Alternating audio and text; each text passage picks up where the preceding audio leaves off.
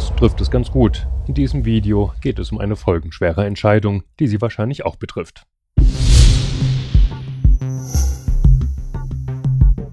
Ich bin Thomas Wagner von der Filmpraxis. Konkret möchte ich Ihnen zeigen, was Sie beachten müssen, wenn Sie auf Musik bzw. einen Takt schneiden, denn dabei können Sie auf ein sehr heftiges Problem stoßen, das aber zum Glück leicht zu lösen ist. Schauen und hören wir uns zunächst einmal an, wie es nicht sein sollte.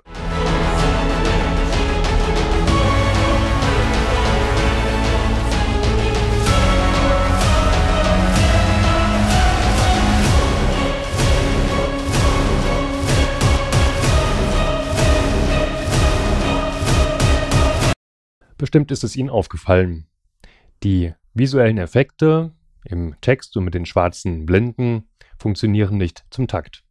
Ich nutze hier Edius, aber das grundsätzliche Problem entsteht mit jeder Videoschnittsoftware und lässt sich auch genauso leicht lösen. Ich habe zunächst meinen Musiktitel in Edius importiert und dann auf die Timeline gelegt. Das sehen Sie hier grün dargestellt. Und dann habe ich den Titel abgespielt und habe während der Titel läuft einfach Markierungen gesetzt. Das geht hier in Edius mit der Taste V ganz leicht.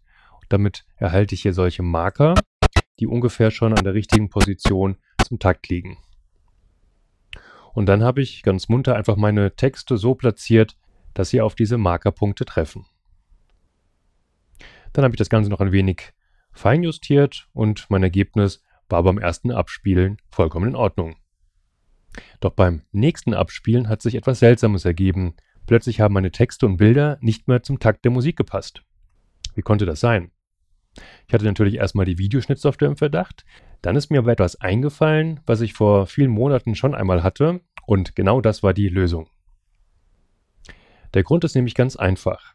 Ich arbeite hier mit verschiedenen Abtastfrequenzen.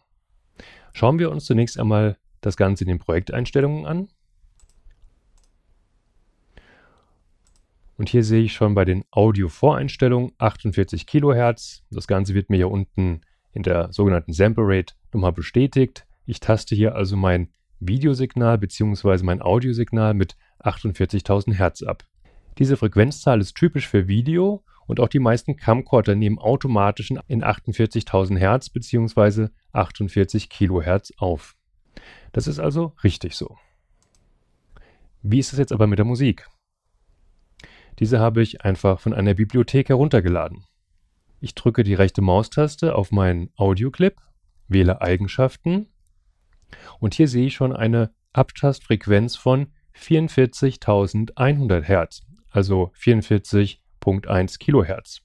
Und das entspricht nicht den 48 Kilohertz der Projekteinstellung. Was Ihre Videoschnittsoftware und hier auch Edius macht es jetzt, während ich das Ganze wiedergebe, wird diese nicht identische Sample Rate angepasst an die Projekteinstellungen. Edius passt also in Echtzeit beim Abspielen die 44.100 Hertz an die 48.000 Hertz meiner Projekteinstellungen an. Und damit verliere ich tatsächlich meine Synchronisierung zu meinen Videoelementen. Das kann sich also bei jedem Abspielen irgendwie ein bisschen anders anhören.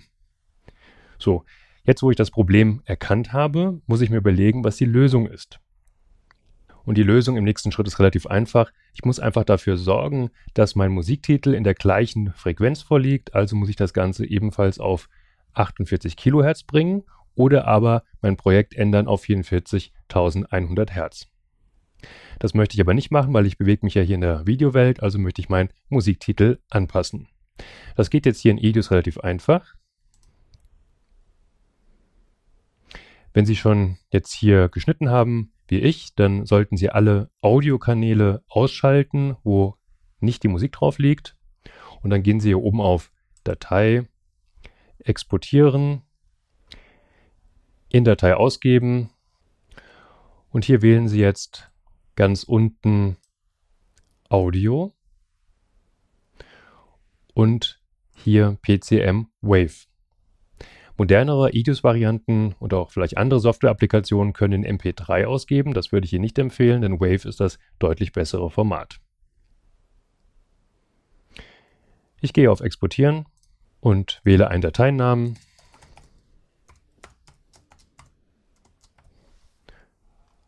Klicke auf Speichern und Edius exportiert jetzt nur den Audioanteil des aktuellen Projektes in den Projekteinstellungen. Das heißt, ich müsste jetzt eine Datei bekommen, die nicht mehr in 44.100 Hertz vorliegt, sondern in 48.000 Hertz. Hier in Edius 10 passiert die Wandlung im Hintergrund. Das Ganze sollte jetzt schon fertig sein. Ich klicke hier mit der rechten Maustaste und wähle Datei hinzufügen und selektiere meine neue Datei, klicke auf Öffnen und jetzt kann ich mit der rechten Maustaste den Clip einfach runterziehen.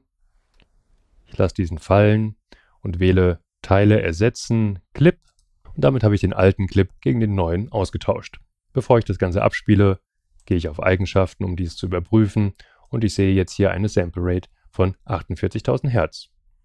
Jetzt kann es natürlich sein, dass ich auf der Timer noch einige Elemente wieder verschieben muss, um den Takt anzupassen, aber ich kann Ihnen versprechen, das müssen Sie jetzt das letzte Mal machen und dann wird es auch beim Rausspielen passen. Schauen wir uns das Ergebnis an.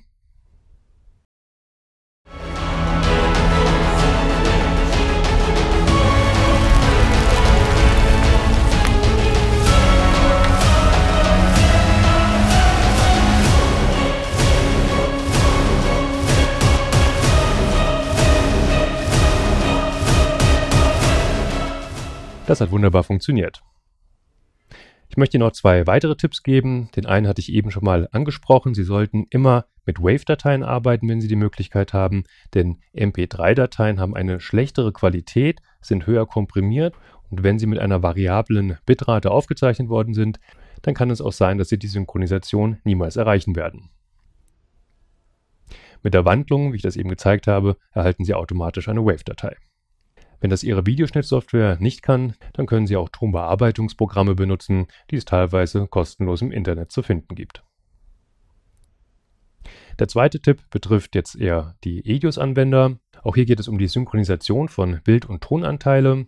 Das ist eine Funktion, die gibt es schon sehr, sehr lange in EDIUS, aber die wenigsten Anwender kennen diese. Denn es kann sein, wenn ich jetzt den Tonanteil oder den Bildanteil verschieben muss, um einen Takt oder ein Bild zu treffen, dann kann ich das jetzt hier in Edius natürlich immer nur plus oder minus ein Einzelbild machen, also ein Frame, weil das Ganze ja videobezogen ist. Im Tonbereich kann es aber notwendig sein, dass Sie im Millisekundenbereich arbeiten müssen, beziehungsweise im Taktbereich. Und das kriegen Sie durch das normale Verschieben nicht mehr hin. Die Lösung ist hier relativ einfach.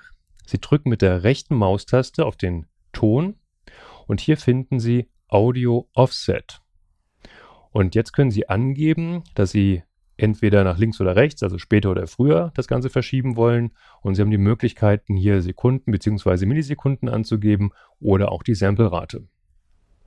Damit können Sie zum Beispiel auch, wenn Sie Dialoge nachsynchronisieren, die Lippenbewegung zu den Dialogen sehr gut synchronisieren.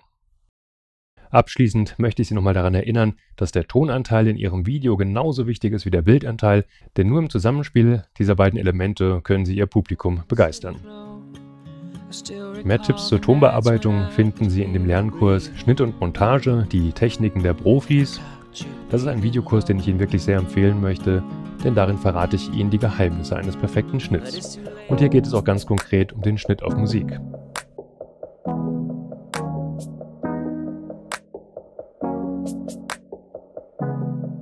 Wenn Sie mit Edius arbeiten, dann empfehle ich Ihnen den Aufbaukurs Nummer 2. Auch hier geht es um die Tonbearbeitung. Die Links zu den beiden Lernkursen finden Sie hier unterhalb des Videos. Wenn Ihnen die Tipps gefallen haben, dann geben Sie dem Video einen Daumen hoch und wenn Sie Fragen haben, dann sprechen Sie mich oder mein Team an. Ich bin Thomas Wagner von der Filmpraxis.